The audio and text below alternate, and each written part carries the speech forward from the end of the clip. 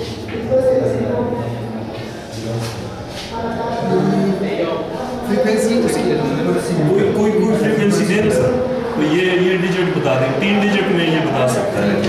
frequency क्या है